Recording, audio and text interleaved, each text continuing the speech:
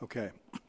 Welcome, everybody. Welcome those of you that are here in person, and welcome to our online audience as well. It's a pleasure to have you all here for the uh, rollout of a, of a new report that we've completed that relates to a very popular and controversial topic these days, which is export controls and export control, in this case, export control enforcement.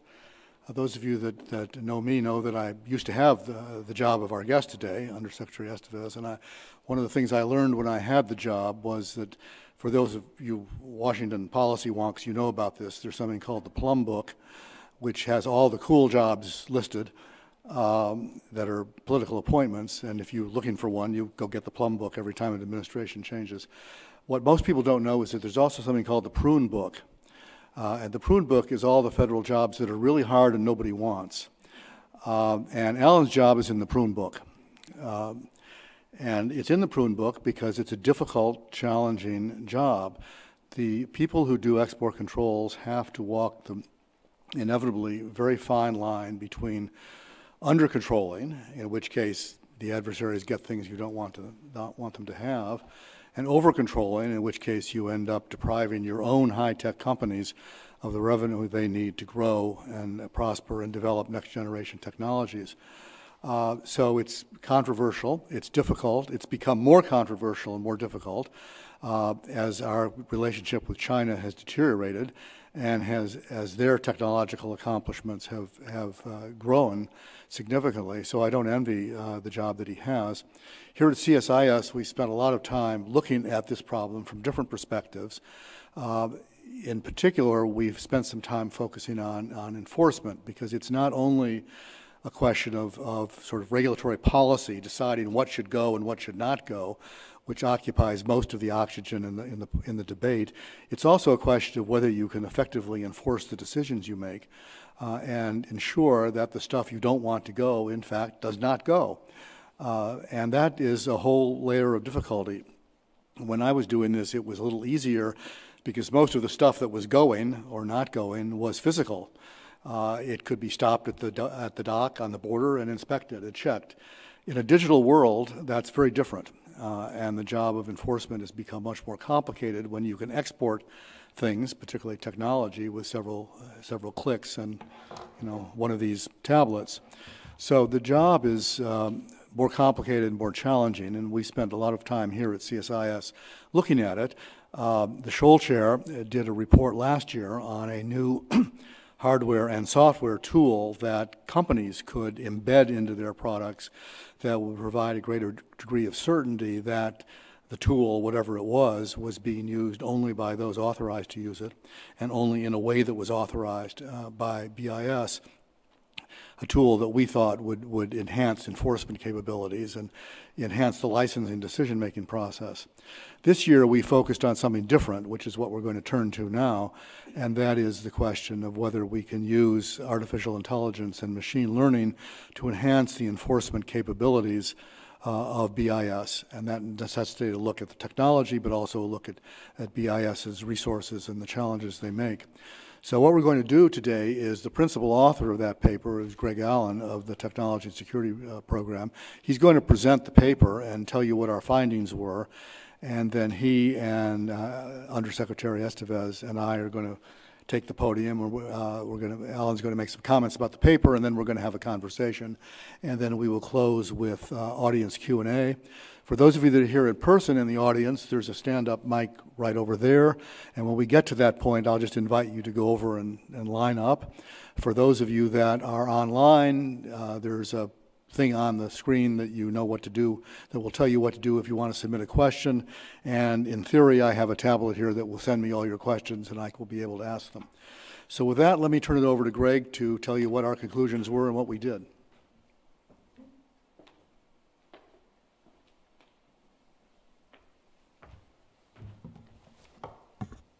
Thanks, Bill, and thank you all for being here today. Uh, I'd like to start with a quote from National Security Advisor Jake Sullivan, who in September 2023, after the uh, export controls against Russia in response for its invasion of Ukraine, said that the export controls, quote, demonstrated that technology export controls can be more than just a preventative tool. If implemented in a way that is robust, durable, and comprehensive, they can be a new strategic asset in the U.S. and allied toolkit to impose costs on adversaries and even over time degrade their battlefield capabilities. And that quote, coming from a national security advisor, is a remarkable statement that I think reflects a new reality that export controls are at the heart of U.S. technology and national security policy. They are relevant and critical in a way that they have not been in decades. Um, however, when we were thinking about this paper and what we wanted to say about export controls, we recognized that the conversation that Washington, D.C. in particular was having about export controls was incomplete. There was a great deal of conversation on should we export control this technology? Should we export control that technology? Should we export control it to this country or to that country? But what was missing from the conversation was a discussion about export control's capacity. Because with the response that we have put upon Russia in response to its invasion of Ukraine, one of the most dramatic expansions in the number of export controlled items, that is a direct challenge to Russia. Literally, the survivability and health of their economy, the viability of their war machine depends upon circumventing these export controls. And so while they do not publish the budget of how much they are spending on evading export controls, it is obvious that the amount that Russia is spending to evade export controls has increased massively. They are doing everything that they can to get around these export controls because these export controls are so threatening to their economy. And so I want to read a second quote. This comes from the president of Kalashnikov, one of the major Russian weapons manufacturers. And here's what he said about the situation facing his, uh, his company vis a vis export controls. Quote, there are no problems getting microchips because the component base cannot be 100% closed off to Russia. It is impossible to isolate Russia from the entire global electronic component base. It is a fantasy to think otherwise.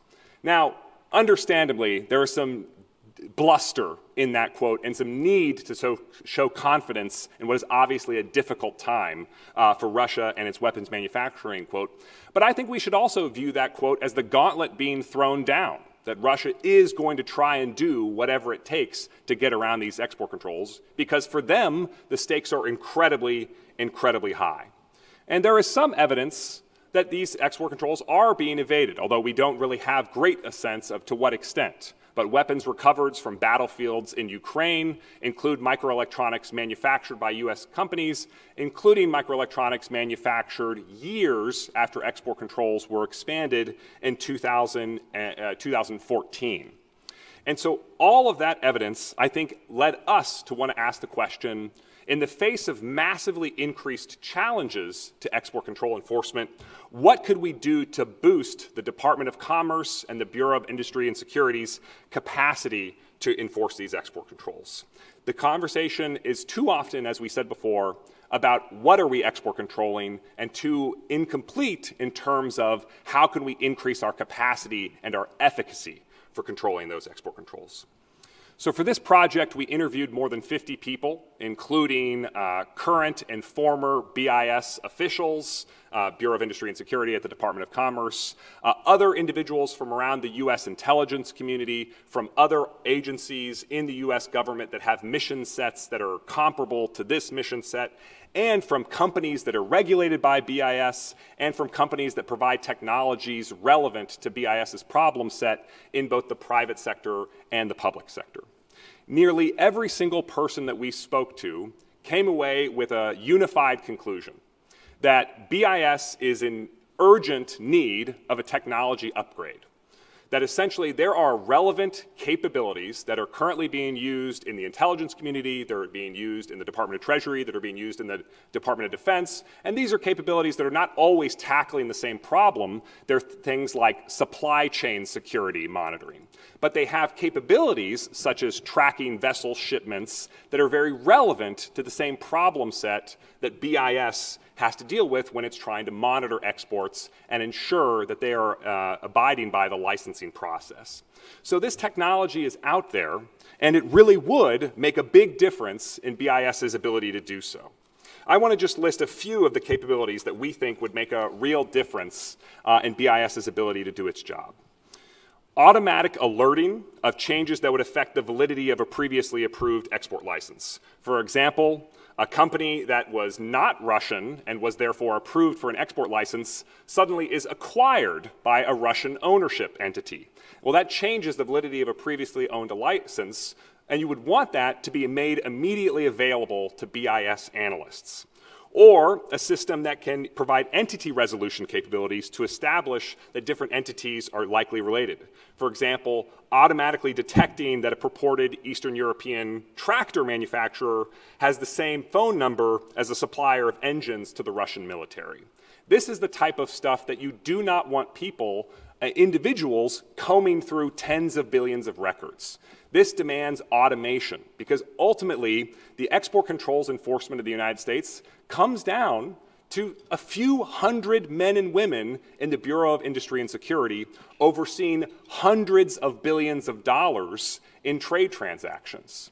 And for them to operate at the necessary speed and scale for U.S. national security, they need technology that gives them the productivity and power that will allow them to do their jobs effectively. And I want to be clear about the conclusions that we reach in this paper. BIS is better at its job than any comparable agency anywhere in the world. The problem here is not that BIS is bad. The problem here is that BIS's job has gotten far, far, far harder in just the past 12 months. And in US national security, we are constantly looking for where the threats are and where the opportunities are. And we ultimately conclude that the costs of these technological investments are incredibly modest. We found that for around $45 million a year in BIS annual budgeting, they could procure not only the entire technology suites they need, but also the staff increases that they need to effectively adopt these technologies. That's a pretty small number by US national security standards. That's a helicopter or two in terms of budget for what we're talking about here. But we conclude that it is quite possibly one of the highest return on investment opportunities available anywhere in US national security. When we finished writing this paper, the frustration that I had was asking myself, why didn't we make this investment the day after Russia invaded Ukraine, knowing that this challenge was absolutely coming down the pike? Um, and every time I see any Russian weapon system recovered on the battlefield in Ukraine, I hope that it doesn't have Western components in it. And I ask myself, if we were to make this investment, how many new Russian weapons would never reach the battlefield in the future? And I think this is an investment that Congress, I hope, uh, will find worthy of making as it debates the Ukraine wartime supplemental appropriation uh, right now. Uh, and I'll stop there and invite Bill to move us.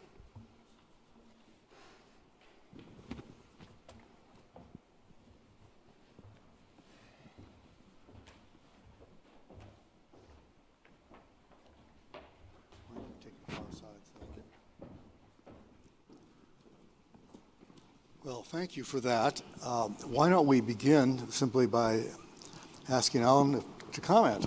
Uh, what do you think? So, first of all, thank you to Bill, Greg, CSIS for allowing me to come up here and talk about what we're doing at BIS, to comment on your paper, to make my own pitch for resources while I'm sitting here, which I would be remiss if I did not do. Uh, but I do have a couple of thoughts.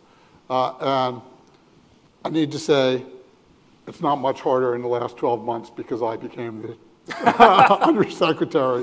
Yep. It's harder because the threat level has increased and what we are doing with export controls is in some regards unprecedented. In fact, let me quote someone who says that. We have to be faster in deciding questions connected to supplying the special military operation and countering restrictions on the economy, which without any exaggeration are truly unprecedented. Vladimir Putin. So we are making an impact, and I'll go further than that. Uh, Avril Haines at the Reagan National Defense Forum, where I was over the weekend. So many of, uh, some of you may have been out there. Uh, uh so many national security professionals said that Russia cannot replace, this is an open source, so she was obviously using open source material to make her comment, can't replace on their own what they are expending when it comes to a variety of munitions. So yes, you're going to find Western technology in that. The question is, when did that Western technology arrive? And, uh, you know, even there's a paper, a story in the Times today, in the New York Times today, talking about that. um, New munitions off the assembly line that were expended with Western technology in them. And I would say, does anyone here, and I'll ask the press, my press colleagues, who knows what the stockpile was in Russian factories and, you know, wherever they're getting chips from when they started this? Because having run supply chains for the Department of Defense, we don't live on what, just in time. Yeah. You know, there is a, there is a stockpile that you grow on. And again, I can, for those of you who don't understand the supply chain, the way it works, think back to COVID, when you were all wondering whether you had toilet paper, uh, and when you were gonna run out, and when the store might have it again. So same thing applies to production. Now, with that said, I wholeheartedly concur with your bottom line conclusion that an expenditure in BIS for one, probably one helicopter, otherwise it'd be an incredibly cheap helicopter for a DOD, certainly not fully outfitted. Uh, You know, the, the, an investment in DI, in BIS is an incredible investment with a good return on investment in national security. So we can certainly use more people, more tools. And I, when I got there, one of the first things I said is, whoa, we need some automated tools and type of things that you were talking about to help us do our job. I also need to point out, though, that BIS and my about 200 agents are not alone in their mission, right? We work very closely with the IC uh, in, in that mission. I work with HSI, CBP, FBI, and importantly, our allied uh, friends, who are, some of whom do not have near the robust capability that I have uh, to do their job. So it's not a one for one, it's a one for many that we leverage in order to do our job. Uh, And to your earlier comment, I think we're pretty good at it. So I'd be thrilled, though, to get some more capability in there in both manpower and automated capability, because I think that would really help us do it even better than we're doing it today. So let me stop there and let's dive into a discussion. Well, I think, uh, in general, I- as a former bureaucrat, you know, more is always better than less, and uh, the answer is often, sure, that's good, but more would be better. Uh, But make a comment on the amount. Have, have, have we got it right? Is, uh, is one helicopter enough, if- as it were, or uh, do you need more? If I put that over the five-year period that you asked for, that's probably pretty good. I probably need more upfront. I mean, I'm asking for more upfront, to tell you the truth. Yeah, 'cause- 'cause- But I have not had a chance to affect the budget yet. Uh, And, you know, we're working through that process for the 24. Because the FY '23 request predates your, Predates yeah. predates me. Uh, And again, you know, we, there are, some of those tools are actually readily available and not all that expensive.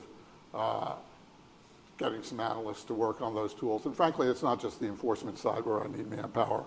You know, the licensing regimes that we're putting on for Russia and China are pretty incredible. I need like analysts, China cell analysts, Russia cell analysts, uh, people who understand distribution networks, uh, because it's gotten way more complicated to help us work through that. And- And we're, in the paper, we're primarily highlighting the enforcement side of the equation, but from a technological infrastructure perspective, a lot of the tools that you would build would be doubly useful for the licensing community and for the enforcement community. And frankly, some of them for my industrial based assessment mm. requirement. Yeah. Right, so I'd get value out of one tool across the breadth of, of BIS, including my ICTS mission for that. Yeah. Although the ICTS mission, I just want to, uh, to harp on this for uh, one second, because if you look at the FY '23 budget request, you know, there is a significant increase for BIS. Uh, But it's just important for folks to understand that that is for this, a a lot of that, not all of that, is for this new mission, ICTS, which is primarily around import policing. So uh, BIS, you know, got a new mission. Uh, This new mission is called ICTS. Uh, The Biden administration requested additional funds to execute this new mission, but it is sort of separate from the, the traditional core mission of export controls enforcement. And I'll make the same comment I made at the Reagan Forum with regard to that. while we were sitting in a CR, here we are in December, three months into the new fiscal year, or two and a half months into the new fiscal year. That mission remains unfunded. Yeah. Because it is a new start and it is not funded in '22. So I am doing that mission, which is, I'd go further than an import control mission. It's actually a protection of critical infrastructure mission. uh, Remains at risk and unfunded because the way I do that mission is I trap lawyers, drag them into the Commerce Building and say, hey, you've used a cell phone, you know something about this, just help me out. A lot of the, um, a lot of the discussion in the paper and a lot of Greg's presentation focused for obvious reasons on Russia because it's the more immediate problem. Um, And there's been, you know, a lot of looking at, you know, Russian uh, missile parts or weapons parts to looking for Western technology. Um, Talk a little bit about China for us, because you've just issued a new rule in October that applies primarily to China, exclusively to China, really. How has that changed your enforcement burden, and how has it made it more complicated? O- Obviously, that's a very, very complex rule uh, with lots of moving pieces. Now, the reality is, you know, it's easier to smuggle and to hide distribution of through, you know, uh, process it through front companies and like, uh, for microelectronics, let's say, than for EUV and, uh, or Lam, KLA, applied chip-making machines. They're much bigger, they have a track record, and you need someone to set them up. But, you know, look, Iran does the same thing trying to, you know, help its nuclear mission, so does North Korea.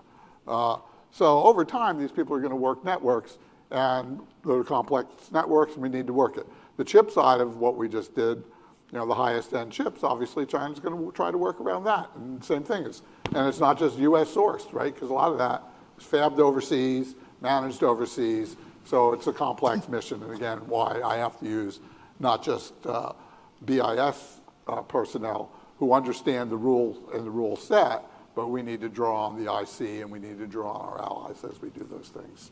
I'll just add to that, right? We were emphasizing how the export controls in response to Russia's invasion of Ukraine are sort of this critical threat to their economy and to the viability of their war machine. And so, of course, they are throwing the kitchen sink at evading these export controls. Well, in the case of China, you know, leadership in AI, AI modernization, is the number one technology priority listed in the five-year economic plan. And these export controls are a direct challenge to that top priority goal. And so I think it's a pretty safe bet that they are also going to throw the kitchen sink. Now, now, you know, I don't want to get into a, because we've already had the discussion with many people in this room about what the China rule says. But, you know, we didn't completely shut China Sure, down from right, it's doing the AI, top, yeah. AI, uh, research. But, you know, if you're a researcher and you're at the top level, you want to research with the top level tools. Right. And they won't have that anymore. Right. So some of those people will go elsewhere. Uh, But, you know, to the bottom line point, yes, I could always, you know, new tools, new capabilities would be very helpful to me in doing that mission. In fact, you know, I was just out in Silicon Valley, I was talking to some companies out there, not companies that I'm controlling, companies that, hey, you have a real cool tool that I might be able to use for this mission. And then trying to figure out how to pay for it is, you know, going to be another problem, which is where you're coming in to help me, Greg. Do you think your staff has the training necessary to operate the technology that we're talking about? Most of, you know, some of this stuff I've sold as a consultant, right? Supply chain illumination tools, for example.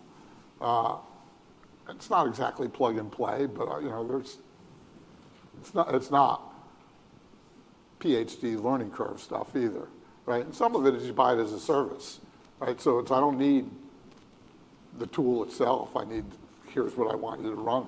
You know, here's the report I need you to run. You know, alerts and things like that, you set up, and it just comes to you. What's your, uh, let me go back to Russia for a minute, because we've been talking about the um, efforts to circumvent, which are inevitable, uh, and there's always going to be leakage, uh, because there's criminals out there that, uh, make that, make a a living doing that. What's your current assessment of how successful you're being with respect to Russia? The- The Secretary in the past has had, and you, I think, has had some data on the extent to which you, you think you've uh, successfully implemented the controls. What's your current assessment of that? Uh, I mean, I still think that we're doing pretty well. Again, I'll, you know, my quote from Avril, uh, from uh, ODI Director Haines from over the weekend shows that the IC has an assessment to some degree that we're being successful in squeezing Russia's military reconstitution capability. Let me be narrow here. We're not talking about cracking the greater economy of Russia, which I also think we're impacting.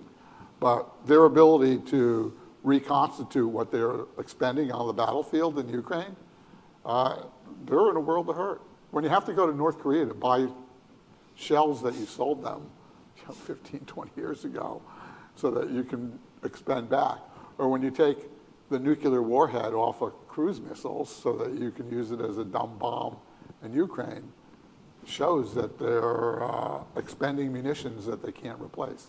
Some of that's industrial base related. I mean, we have industrial base issues here too. Uh, but a lot of that also has to do with they can't get the capability to rebuild. And so on Russia, are you satisfied with the level of allied cooperation? I'm very satisfied with the level of allied cooperation. What I'd like more cooperation is from fence sitters. And I said, even, even in that regard, many of them are actually not supplying, but, you know, they're, they're also not looking and searching. And, you know, we need to like look for those distribution networks and shut them down. And what kind, are you talking to those fence sitters, if you will? I don't want to ask you to identify them, but I think we all know. Are you talking to them actively? We're, we have a vibrant international outreach program. And what are they saying back? Uh, you know, some of them like will say, they'll say what I just said. They're not resupplying, so they're not backfilling Russia. Uh, some of them don't even really have enforcement capability to begin with, to tell you the truth. Uh, and and they'll, they'll say, you know, they're working as a fence sitter would, both sides.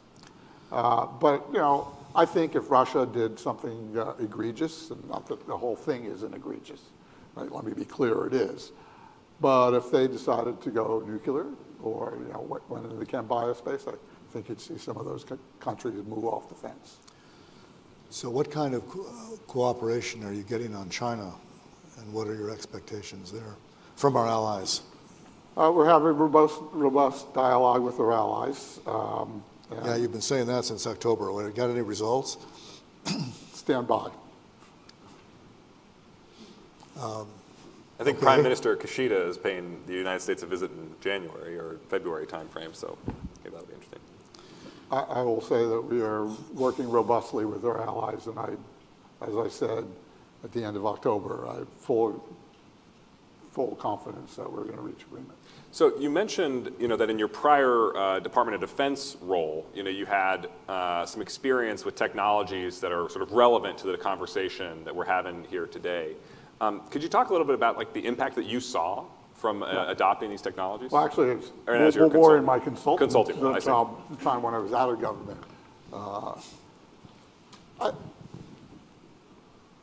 You know, again, there's a variety of different tools that do different things.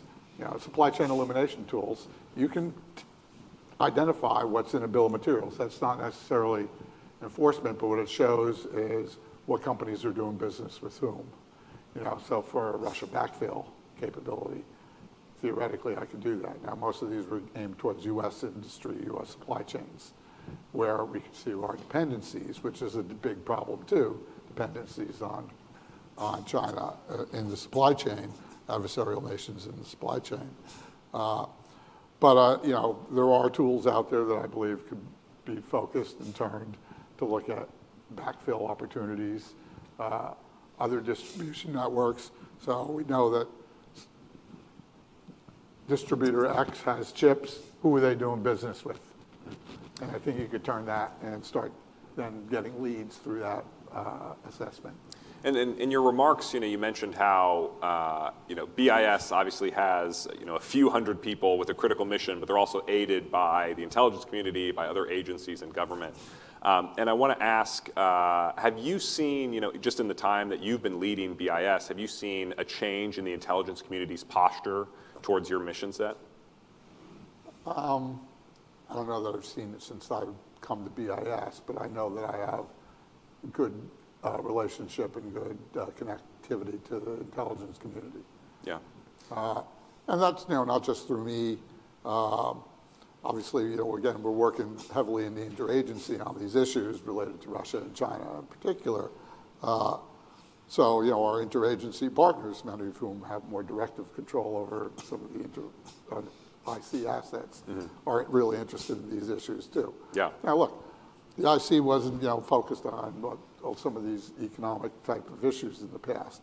You know, so they're developing some of their capabilities around this as well. On, on that, uh, we have a, we have a question from our online audience, which is uh, relevant to what you just said, so I'm going to interrupt the flow of events and ask the question. This comes from our, our old friend Brian Nielsen, who probably knows the system as well as, as anybody, since he was instrumental in the Obama administration's export control reform uh, uh, program. And he says one critical long-term weakness of the interagency system is lack of systemic intelligence support. This was a priority identified during the export control reform exercise in the first ever National Intelligence Assessment. Yet export controls are still not a priority in the IC. Generally, only operating committee and ACEP cases get a formal intelligence review. Otherwise, the review is ad hoc. Is this being addressed? Has it been I, resolved? I have way better intelligence feed than just through the ACEP or, or, and looking at it. I mean, I, I personally get all sorts of stuff on different fabs that are starting, what they're doing, how they're doing it, where they're doing it, who they're working with, uh, in depth. Uh, and same thing with Russia. And again, part of it, the Russia thing is because there's egregious action going on and it's focused intelligence. China, because the threat level has increased so much, it's just part of the nature of assessing China and assessing what they're doing. And, you know, when I have the National Security Advisor looking at, at export controls as a strategic tool in the toolbox, I'm going to get the data that I need to use that strategic tool. So I'm real comfortable with what we get from the IC. I think there is one caveat that I just want to highlight in, in, in some of the things that we heard, which is the, you know, even though the IC has monstrous capability, you know, in what, by what mechanism is it transported to you? Because there's a lot of, you know, report writing culture in the intelligence community, and they're better than anybody else in the world in that. But there's also, you know, massive databases that need to be queryable on a really time, you know, uh, really instantaneous basis. And I think one of the, the more minor recommendations here, but I think is one that we take seriously, is the need for increased classified facility space at BIS, just so that you can log into some of these networks and access some of these tools that are, that are available on classified networks. You know, my office in the Pentagon was a SCIF. It had windows and uh, all sorts of stuff. Now, obviously, in these days, you can't use your phone, uh, which was sort of my, my phone at my time in the Pentagon was migrating out the door. Yeah. it can still be kept in a, um, a lead box, you know. Uh, yeah, I could use more SCIF space, for sure. And, you know, commerce as a whole could use more SCIF space, not Yeah. just BIS. Yeah, and I think there, there's one element of this, is, which is commerce is not a member of the intelligence community. BIS is not a member of the intelligence community. So you have to sort of thread that relationship in a, in a different way than some other agencies do. I'm not sure, you know, there's goodness and there's badness. in Agreed, that. agreed. So there's reasons for us not to be Yep, in the IC. Uh, I I won't, I'll stop right there on that. Great. Uh, But that does not impede us from our work together. yep. Should we uh, start taking questions from the audience? So, We are, and I've got some more. and if, if folks want to line up at the, the microphone, uh, Please do. Let me uh, give you one from uh, also a friend, Ana Swanson of the New York Times. I'm sure you know Anna. Can you talk about what Chinese cooperation is looking like on the ground for end-use checks right now for companies like YMTC? What role does the Chinese government appear to be playing in that? There was just a story on this, so I imagine you're on top of it. Um, And I'm going to be a little um, less candid than I like to be in answering this. Uh, Look, the goal of the UVL to EL rule was to drive better behavior from countries that were not allowing end-use checks. Uh, And we are seeing better behavior. What I'm not going to talk about, and what I meant when I said I'm going to be less, less uh, forthcoming, rather than candid, that's probably the better word, is I'm not going to talk about where we are on any particular company and the results of any particular end-use check, because that will go through due process and due order. But I will say that MOFCOM has been more uh, forthcoming in. I think that was a thrust, I think that was a thrust of the question. Has there been a change in attitude on the Chinese Well, side in terms of cooperating with these things? We are seeing a change of attitude. It is not the first time we've seen such a change of attitude. So it depends on how long that sustains, on whether we've accomplished our, our goal there. Yeah, I can speak to that from personal experience. Um, It kind of goes, waxes and wanes, based in part on the state of the overall relationship. All right, let's go with the first person here. Please identify yourself like I might identify in the online questioners. Uh, th- Thank you. Demetri Sevastopulo, Financial Times. Um, I understand that you and Tarun Chhabra took a little vacation to the Netherlands recently to talk about some of these uh, uh, chip tool-making companies and trying to get a trilateral deal. But in the past two weeks, the Dutch Foreign Trade Minister and also the Dutch Economy Minister have come out with public comments suggesting that they're not as forward-leaning as I hear you saying when you say stand by and a deal, a deal is near. So can you give us a little bit more sense as to why you're so optimistic? Because when I talk to Japanese and Dutch officials, I don't hear the same optimism. I had a great Thanksgiving, Demetri. Uh, And yeah, I had some Dutch beer while I was uh, having my Thanksgiving dinner. Um, Look, I, I, at this point, I'm not going to go into details on our discussions with our allies, or even who those allies might be. I'll let you guys conjecture all you want on that. Uh, We are having good discussions. I don't expect any other country to say, hey, we're going to come in and let the United States dictate our policies and our plans. However, and I've said this, you know, when we chatted last, uh, these countries, our allies, share our values. They uh, share the same threats that we see. Uh, and we're forthcoming with them on what those threats, from our perspective, are. They also understand the surveillance state nature of some of the tools that were being used by the Chinese uh, that are made using uh, tooling from our countries. Uh, and so when I had discussions and when I've had discussions across the board on that, uh, the reception's been very, very positive. Uh, so, and again, I'm not the only person having discussions. Just quickly follow up and say, you know, you said at a rival think tank a month or so ago that by American companies or by the US government putting skin in the game, it showed the Europeans and the Asians that you were serious about this. What I hear is that they feel slightly blindsided by what happened in October and that are you still as confident that they are going to see you putting skin in the game and just follow suit? I am. Time frame?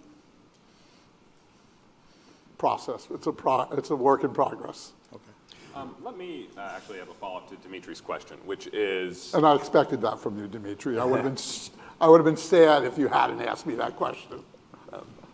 so, uh, you know, obviously, the, the policy as designed, the October 7th uh, export controls towards China, you know, really designed with U.S. national security interests in mind.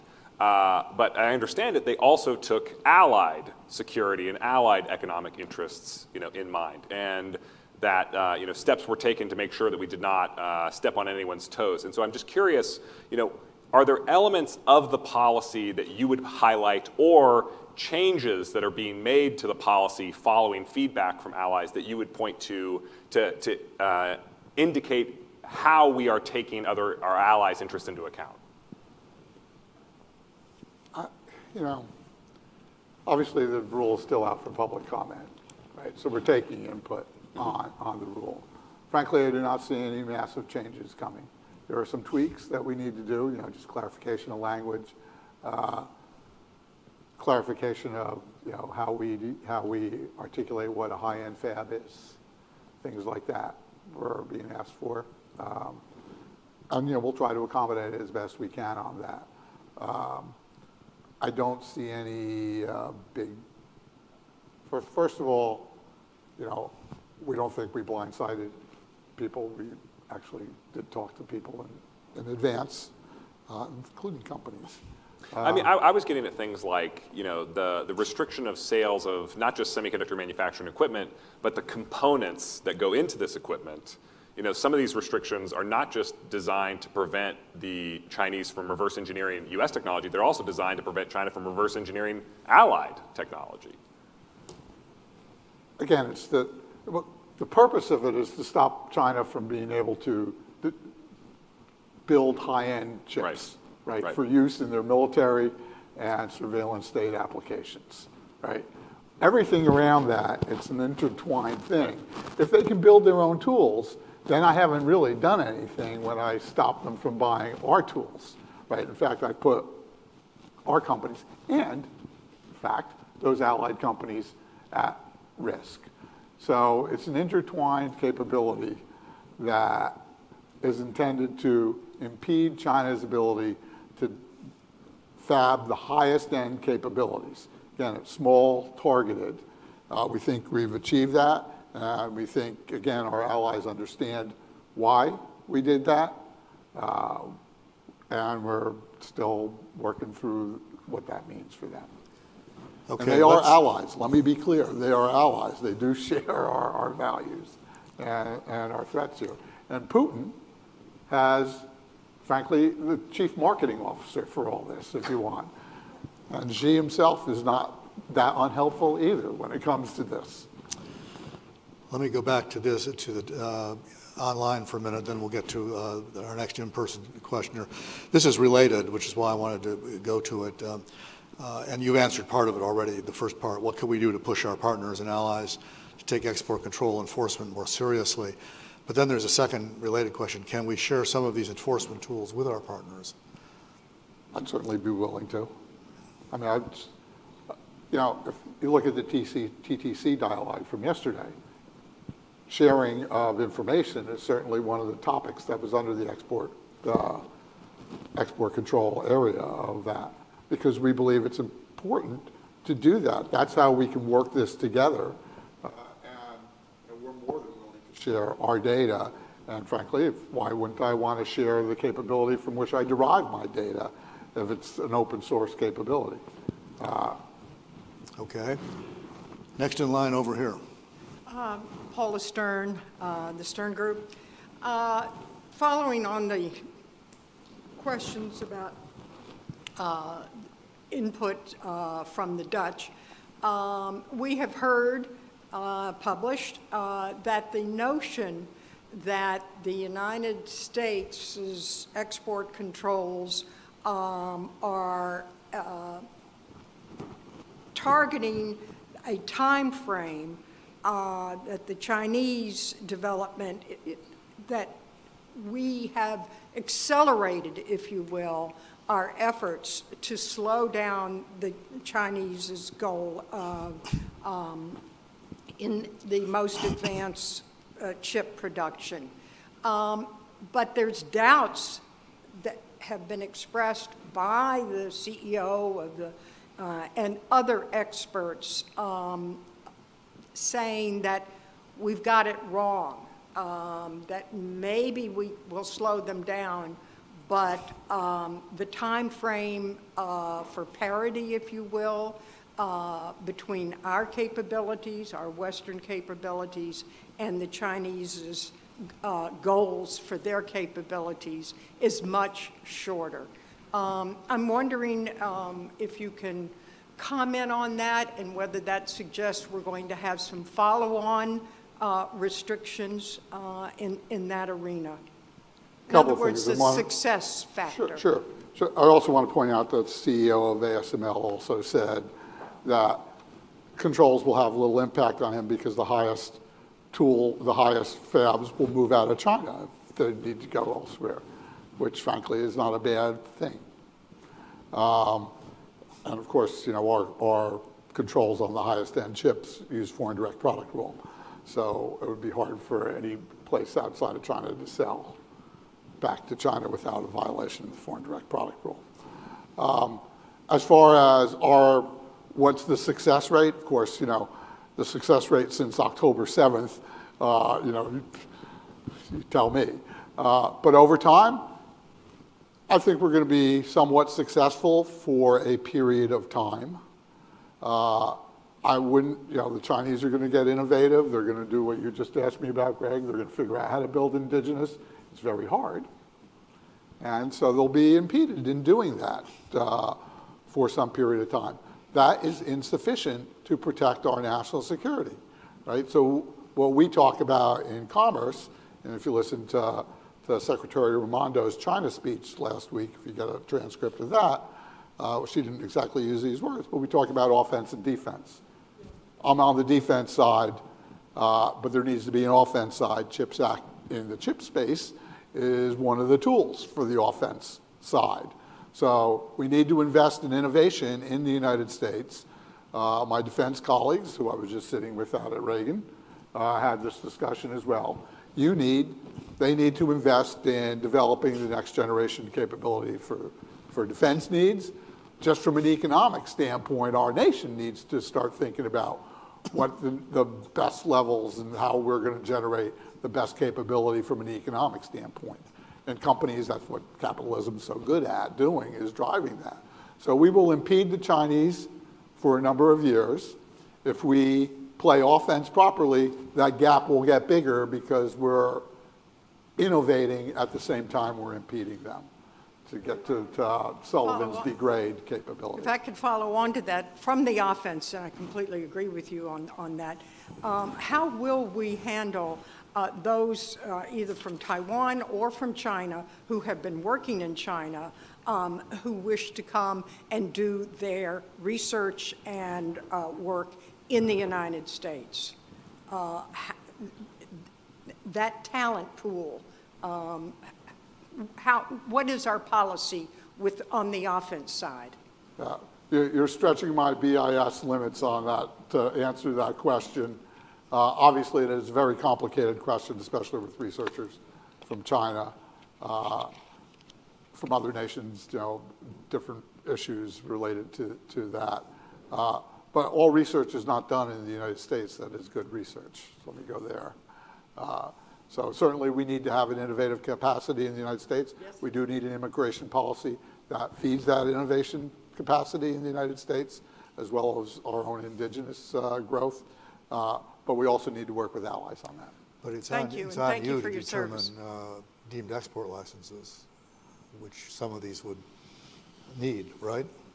And we- obviously, we would look at uh, who they are, Are you, are. are you how they would doing do that now? Are you granting any now to Chinese? Uh, Again, very complicated, not what I really want to dig into right now. All right. Um, Let me uh, turn to the uh, online audience. There's two questions from Catherine Kirby of American University that I'm going to combine, and then we'll go back to uh, a live audience. Uh, She says, "You may be supportive of adopting innovative technologies for improving enforcement. Do you also see, do you see an overall appetite from leaders and officers, I think she means here in the United States, for the same thing, for adoption of new technology? And related, what do you think is the largest hurdle to the adoption of new technologies for improving enforcement? Uh, What was the second part of that, Bill? I didn't quite. What is the, the largest hurdle to the Oh, adoption of That, technology? that part I got. What was- the part on officers? Uh, Are there other people in the administration who share the view that we, you need new technology? I think would be the best way to put it. I would say, first of all, let me address the hurdle piece. Uh, The biggest hurdle, Money. money. Right, No surprise there. Uh, Whether other people in the administration share that I need new technology, that I really can't say because they're not operating BIS, I am. Uh, I think other people would say they want BIS to have robust capability, you know, from the president on down. I mean, I'll, I'll uh, chime in there, to right, say that we interviewed folks not just at BIS, but also from other federal agencies who have missions similar to BIS, and then also from other federal agencies who work with BIS. And essentially, everybody that we talked to said, yes, BIS needs more modern technology. It would make it more easier for us who depend upon their mission. It would also make it more easy for us to work with them, um, literally like exchanging data at machine speed instead of email speed. Okay, let's uh, go back to the uh, in-person audience. Go ahead. Hal Hodson from The Economist. Thanks, Alan, Bill, and Greg for the conversation. Um, there's definitely smuggling going on. There was smuggling going on in Hong Kong of machine tools in 2019 in the wake of the Huawei actions. And smuggling kind of goes off the books, right? Your traditional response would be to put someone on the entity list, but by definition, if you're smuggling, you don't care about being on the entity list. So, how do you hand these things over? It leaves your domain at a certain point, right? Like once you, you no longer care what list you're on, you're, you're doing whatever you have to do to get the supplies that are needed into the people who are paying you for them. So, how do you, can you talk about how you interact with colleagues at, I don't know, other enforcement agencies in the government to deal with that problem? It, it, it goes, you know, you're right. So obviously people are smuggling because I'm on the entity list and I can't get it the way I would want to. But let's be clear, smuggling has been going on since, you know, the first person developed fire, right? Someone must have smuggled the fire to the next place. Prometheus from yeah, Zeus. Yeah, right, right, right, yeah. right, from Prometheus on down, who smuggled it himself Yes, from, yes. from the gods. Uh, you know, at, at its highest end, when you find people doing that, you put them in handcuffs and you put them in prison. Uh, But you don't do that, right? Who, who does? well, I, uh, my guys walk around with guns and handcuffs Okay. and can absolutely put someone in handcuffs. And I have warrant authority, and it's, you know, I have the ability to turn around ships and airplanes. Uh, and so, you know, we also shut down the uh, facade companies. Uh, we identify who the U.S. source is or the foreign source is. We work with foreign nations around that. And we have administration, administrative actions. Uh, you know, one of the things that we've done that uh, Matt Axelrod, uh, my Assistant Secretary of Enforcement, uh, started doing is raising the levels that we're playing at at enforcement so that an administrative enforcement, oops, I did this, uh, let's settle and no one will know about it. We're not doing that. Now, there's some part of that that, you know, we want people to self-confess. Uh, and, you know, so there's different levels. But if we catch you doing something, we want other people to see your head on the pike. Not necessarily your head, but, uh, But so just a brief follow-up on that then. Uh, You know, we, we know that there's been chips and tools being smuggled into China since at least 2019. Where are the Since heads on? what- that, what's I'm the best? What's the best head on a pike that we've had since then? you know, I'd have to What's- go. what's one head on a pike? Like, there's all sorts of cases related to China, and there's certainly cases related to Iran, and there's certainly cases related to North Korea, where people are sitting behind bars. There's, there's a BIS list on the BIS website that's called "Don't be on this list," and it's like literally a list of all the you know the folks who got caught. Yeah.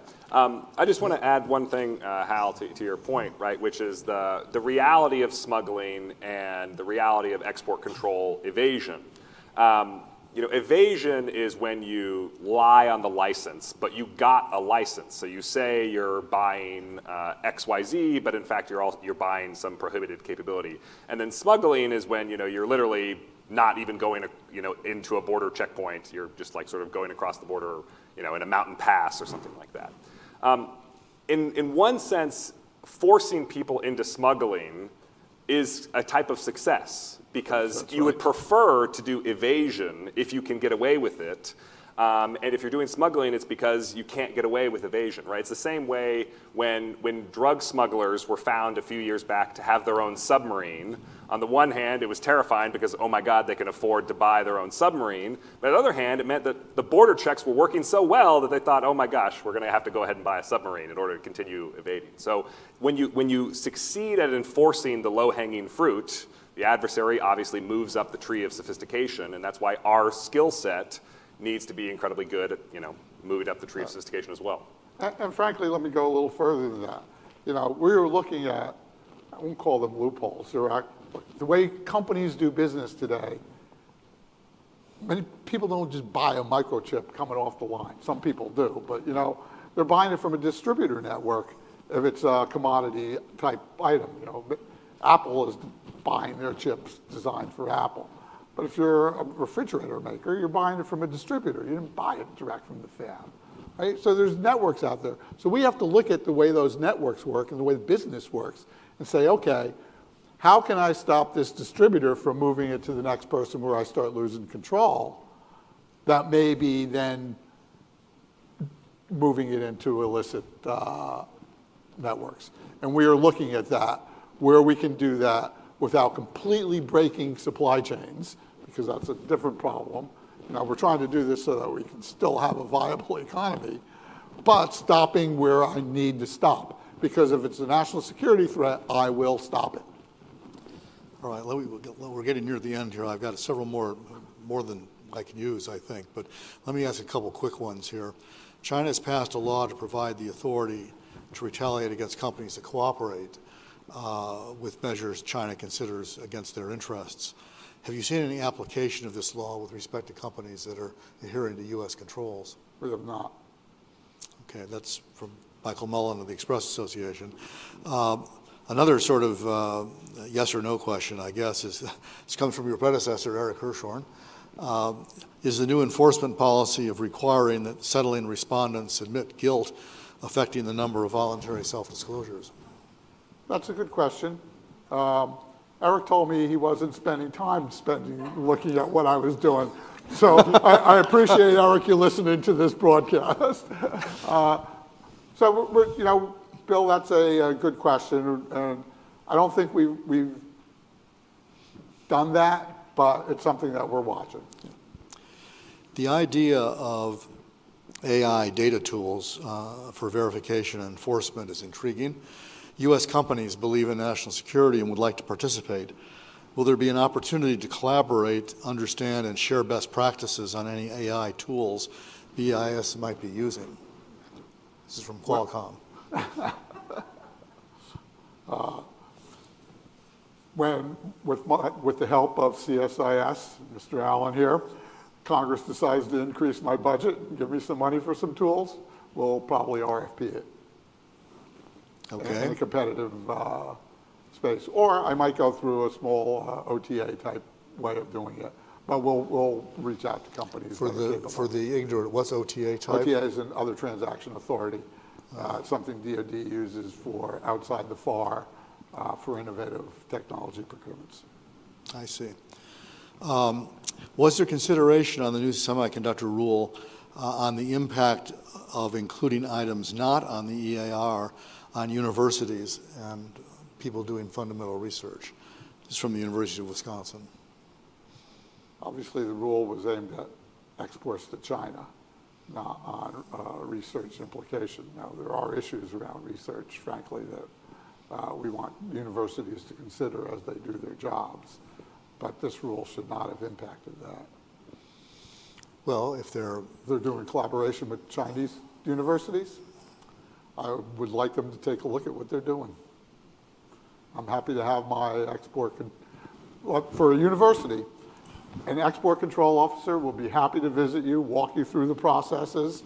Uh, My EA folks, my export administration folks also have reach out and training, and we'd be happy to work with you on how best to meet your need while still protecting national security. But I'm going to do what I need to do to protect national security. Is BIS considering a deeper screening process into foreign ownership, control, or interest that would provide U.S. companies or research institutions with more knowledge about those with whom they're considering doing business? This is from GAO, so. You're going to be Uh, I can't- investigated I can't depending believe upon your this is where. GAO is asking their question. Am I going to provide U.S. companies insight into foreign, uh, is this like a CFIUS question? I'm not sure I get. Uh, I mean, I there's the think entity list and the unverified list, and that's where Yeah, you But those, give but those are, you know, other, those are obviously foreign con- Yeah. companies.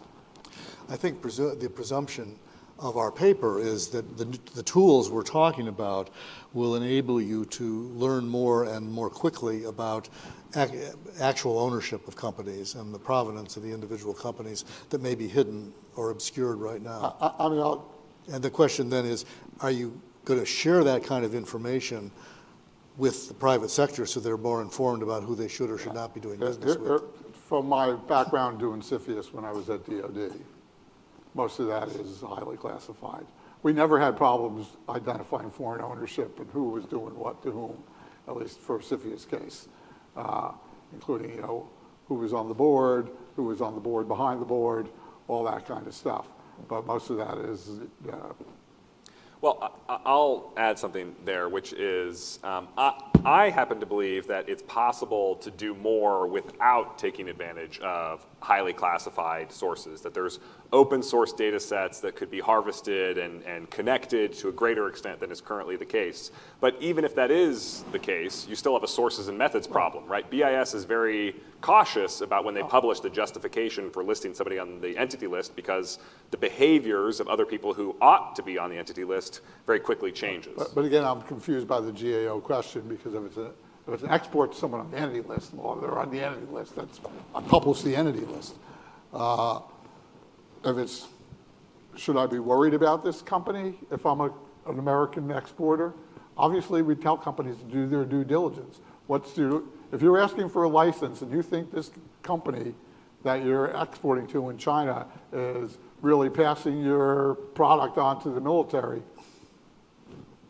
don't, Don't do that. don't, don't do it. Right? Because you're administratively guilty at that point.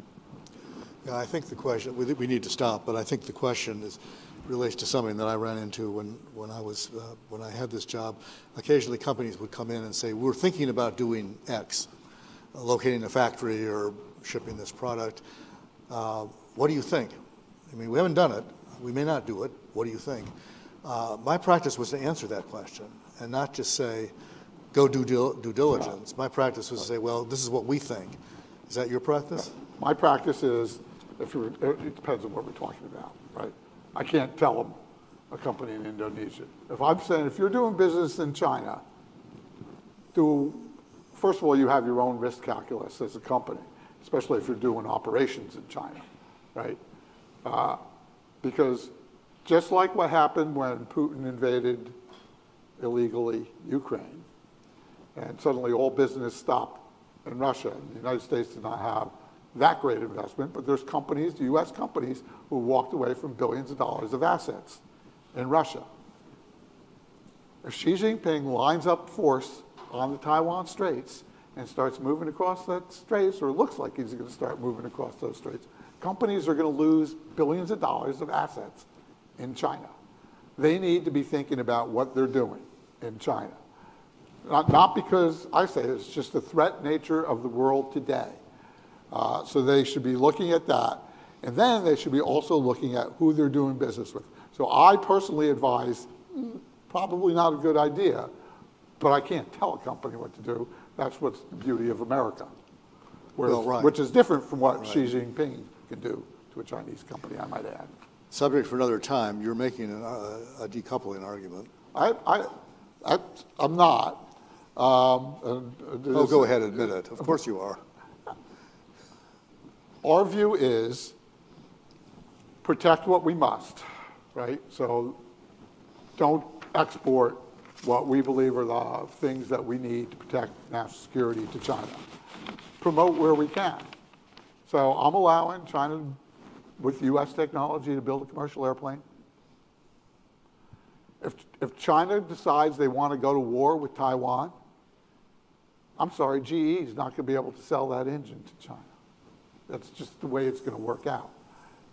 That is not a decoupling argument. That's an argument for China to change its behavior. And that's a good note to conclude on. Do you have a closing one minute, or do you want to? Uh, uh, no, just to say thank you all for, for coming and for listening to this incredibly important issue, and thank you to Undersecretary Estevez for spending the afternoon with us. Thank you, Tim. Thank